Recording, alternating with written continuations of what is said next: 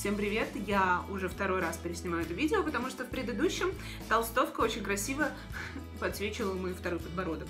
Я там Бейб, если кто-то помнит такой фильм. Сегодня перед творческой частью видео я хотела бы ответить на три часто задаваемых вопроса под моими видео. Ну, как часто? Ну, наверное, раза по два каждый задали. П популярность. Вообще все вопросы под видео делятся на, опять же, три категории. Первое — это вопросы про пастель, но я очень много на них отвечала, может быть, еще какие-то накопятся более интересные, и я еще раз отвечу, потому что мне несложно. Вторая категория вопросов — это вопросы про бумагу. И третья категория вопросов — это вопросы, взятые, мне кажется, из какого-то рандомайзера вопросов, потому что они я не знаю, как они приходят в голову. Сегодня я хотела бы заострить свое внимание именно на бумаге, потому что, потому что вот из последних как раз очень много было именно про нее. Первый вопрос. Можно ли писать пастелью на холсте? Ну, чисто теоретически, если прям запариваться, загрунтовать холст каким-то специальным образом, чтобы это была, видимо, краска с каким-то абразивным материалом для того, чтобы создавать шершавую поверхность. Короче, нет. А второй вопрос. Сойдет ли бумага для пастели для пастели? Это хороший вопрос. Да нет, на самом деле, ну, действительно, я потому что своих видео не пишу на бумаге для пастели, исключительно потому что я жмут. Потому что хорошая бумага для пастели стоит дорого, а плохая бумага стоит дешево, но такого эффекта, как от наждачки, от плохой бумаги для пастели не жди. Может, по деньгам это будет примерно одинаково, э, ну, то есть дешевая бумага для пастели или наждачка, и то дешевая бумага, мне кажется, будет стоить дороже. Но эффект наждачка абсолютно выигрывает. Но лучше взять бумагу для пастели, чем взять обычную бумагу. И это третий вопрос. Он вообще, наверное, первый популярный он вообще, наверное, первый по популярности. А можно ли э, рисовать на обычной бумаге? Что я могу сказать? Если отвечать односложно, то можно. Но если углубляться в суть вопроса, то я бы это сравнила, например, с вождением автомобиля. Можно задать вопрос, а можно я вместо руля поставлю себе вот такую палку и буду ей вот так рулить? Как бы чисто теоретически можно. Ну, то есть машина будет ехать, можно будет поворачивать, но вы не получите удовольствие от вождения. Это будет совсем не классно, это будет в разы сложнее, и эффект будет... Э...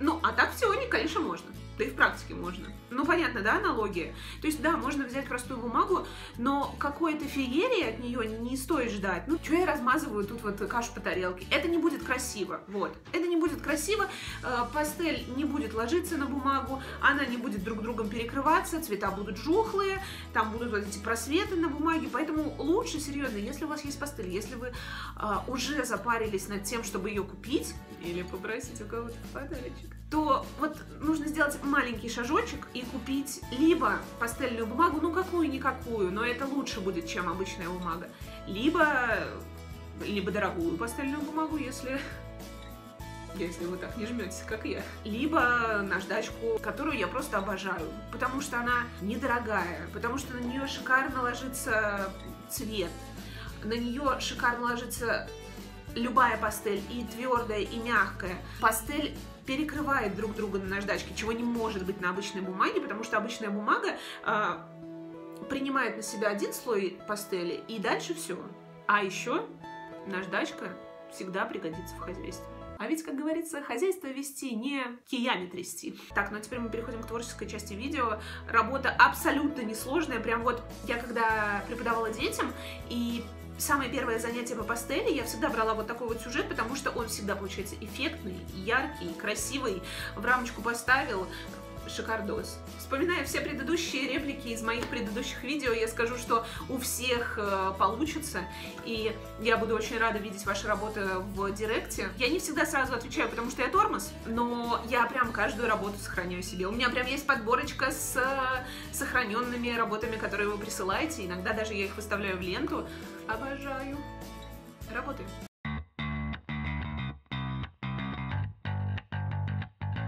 Ну что, начнем. Я быстренько расскажу, что я использую. У меня, как всегда, наждачка. Правда, у меня зернистость 1000. Лучше, конечно, взять побольше зернистость, потому что 1000 немножко стирает отпечатки пальцев. А, и два вида пастели. Вист артиста и, как оказалось, правильно говорится, мунге. Еще я использовала черный карандаш. Можно брать черный карандаш угольный, можно брать черный пастельный карандаш, а можно вообще карандаш не брать и использовать просто остренький краешек черной пастели. И от перечня материалов переходим непосредственно к практике. Берем розовый, можно взять красный, можно белый мелок. Не имеет значения, главное наметить линию горизонта, которая примерно занимает вот 1 пятая листа. Затем берем самый яркий фиолетовый мелок, который у вас есть, укладываем его плашмя и начинаем заполнять верхнюю часть листа. Почему плашмя? Потому что так э, удобнее покрывать большую площадь. Затем берем чуть более светлый фиолетовый и точно так же, укладывая его плашмя, прокрываем часть листа.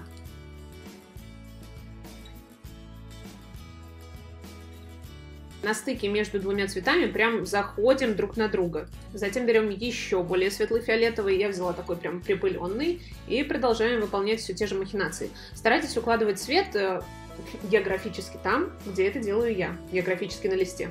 После этого берем розовый. А, постарайтесь выбрать такой розовый, который не самый светлый в вашей палитре, но и не самый темный. Дальше я взяла такой лососевый цвет, но если у вас в палитре подобного нет, то в принципе можно взять э, приглушенный такой пыльно-красный. Можно взять не очень яркий красный и сверху его перекрыть чем-то каким-нибудь светлым-светлым розовым или белым, и они втушутся друг друга, будет вот подобный цвет. И обратите внимание на места на бумаге, которые я не заполнила цветом. Постарайтесь оставить их тоже пустыми. А вот теперь пришло время для ярко-красного цвета, и мы берем его и начинаем писать воду, где у нас, собственно, отражение этого яркого неба. Обратите внимание, что воду я заполняю горизонтальными штрихами. В самом низу листа можно добавить такого ядреного розового, прям такого ого-го, и немножко фиолетового. Ну а теперь приступаем к растушевке. Я всегда начинаю от светлых тонов к темным, ну для того, чтобы не получилось грязи и для того, чтобы лишний раз не затемнить. Обратите внимание, что растушевывать нужно прям вот в данном случае постараться. То есть, чтобы цвета очень плавно входили друг в друга.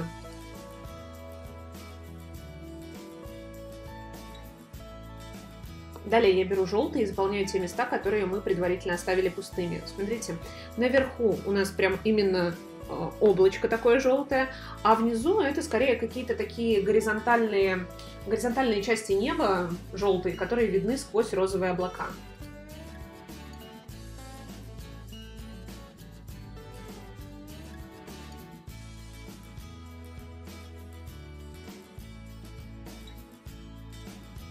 Внизу в желтый кое-где можно даже добавить немножко белого для того, чтобы а, еще больше подчеркнуть наличие солнца то есть чего-то очень светлого.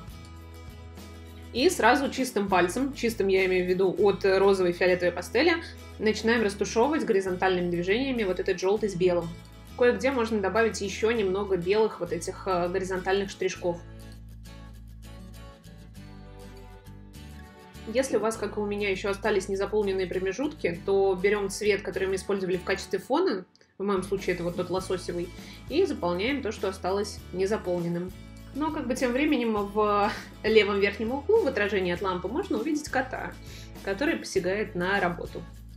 А, как бы этот парень считает, что вот такой ракурс лучше. Теперь я беру ярко-розовый и подчеркиваю верхушку желтого облака верхнего.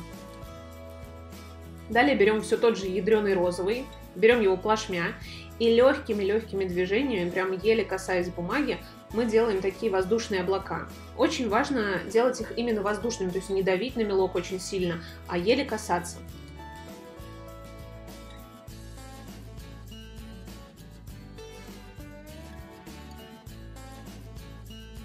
После розового можно все то же самое повторить с белым мелком, причем делать это прямо поверх розовых облаков.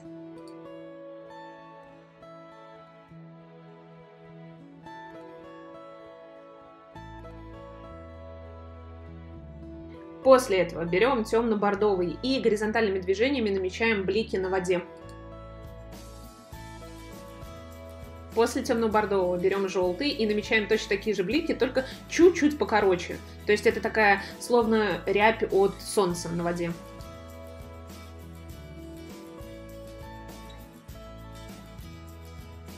И теперь самое время браться за черный мелок. В левом нижнем углу у нас э, будет берег, на котором будут стоять пальмы. У кого-то берег может быть чуть больше, у кого-то меньше. Тут уже простор для собственной фантазии.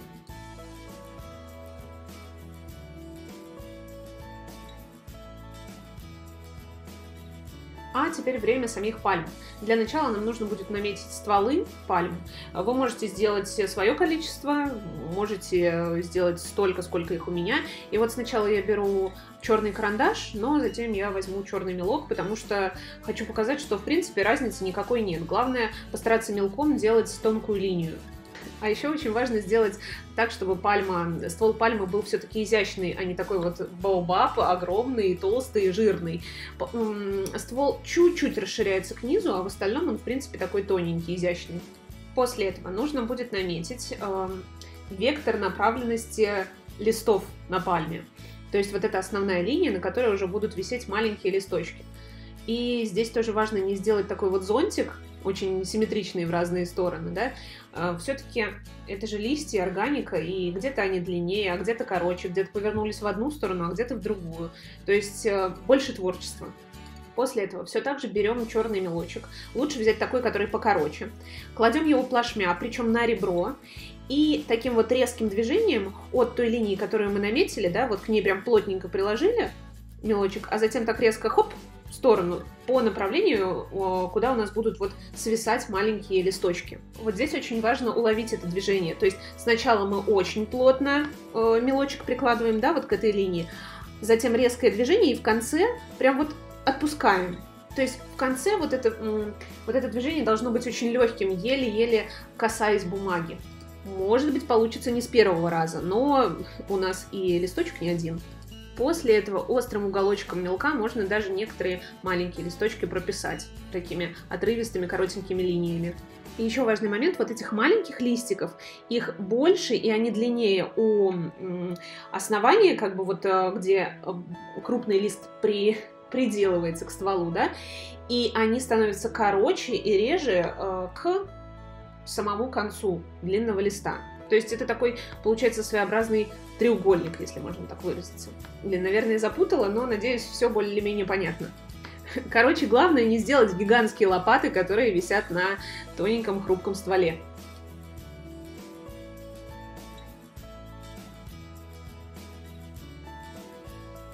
Далее все те же манипуляции мы проводим со второй пальмой и с листочками, которые стволы которых не видно, потому что они не попали в кадр, но листочки, которые вот попадают на часть нашей бумаги.